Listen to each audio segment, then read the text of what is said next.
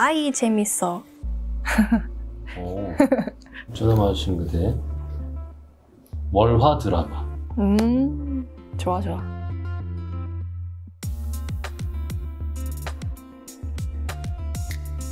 아오. 뻔뻔한 사람. 어, 어.